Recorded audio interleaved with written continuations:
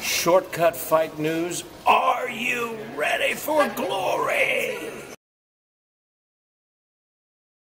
Marat Grigorian. Hi Marat.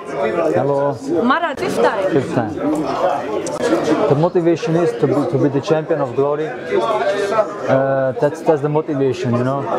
And uh, already also the past that I lost on Sittichai already already four times.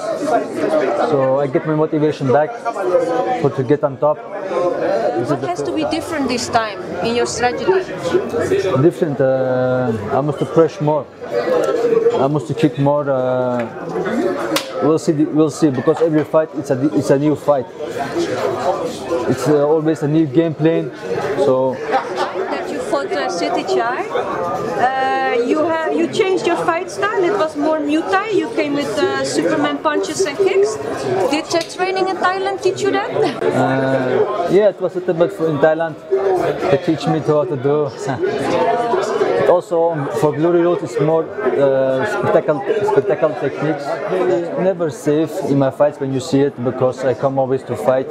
That's that's uh, different for me. That's why, why my fans love me because I come always to fight. Uh, so I will, I will do it again, but uh, this time a little bit sharper.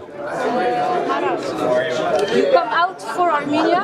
Yes. And uh, when did you check? When did you switch from Belgium? Before you you come out for Belgium? Yeah, I'm, fr- I, I'm, I live I live in Belgium. Uh, yeah, I said from the day from, from the first day that I'm Armenian, but they were too lazy to, to change it.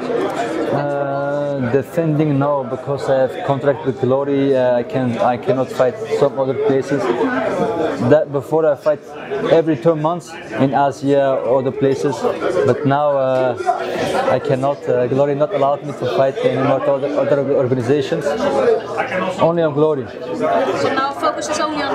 Yes. You usually prepare in Thailand. This time you didn't uh, train in Thailand. No. No.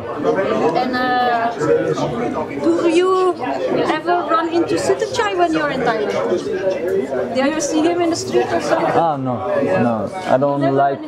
I don't want to have contact with my uh, coming yeah coming fighter.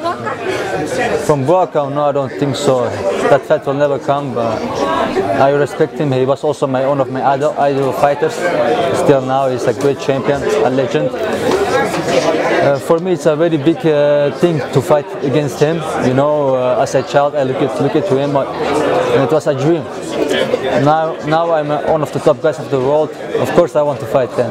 You know, it's you're still a, waiting on it, huh? but I don't think so. The fight will come because that's dangerous. You know. You have to put pressure on. Yes. Uh, Marajan, my last question is, uh, what can you promise the fans uh, for tomorrow night? Why should we watch this fight tomorrow night? Like always, it's always a firework.